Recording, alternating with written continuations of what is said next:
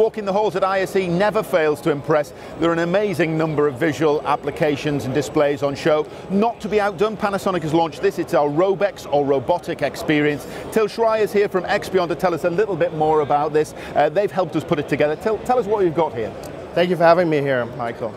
Um, well, what we have here is um, three industry robots holding three 98-inch Panasonic 4K displays and a back projection, which is really great.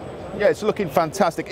Is this a new direction for XPION? Well, yes, it kind of is, because after um, using robots and media for really high-scale, cutting-edge events, now with the RobEX product line, it's the first time it's really accessible to our customers in terms of budget, availability, and in terms of production time. So this is really great. Yeah, so it's opening up a, a, raft of new applications that we wouldn't have seen before. Oh yeah, obviously. There's so many applications you can think of.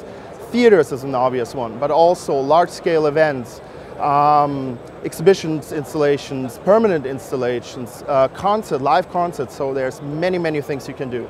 And it's a, it's a collaboration between Panasonic and XPION. You're using you're using our 98-inch screens uh, uh, on all of these applications. Yes. What is really great is that here we're using the 98 screens in combination with the projection, uh, with the projection, which is for the content, a new experience for the audience, which makes a new uh, engagement to the audience, which is really great. And you must be glad that these, these crowds are amazing. They've oh, yeah. we're overwhelmed with the, with the crowd. It's just been amazing days here so far. Okay, thank you for joining us on Panasonic Live at ISE. Don't forget, if you're coming down this week, we're in the middle of Hall 1, stand H20.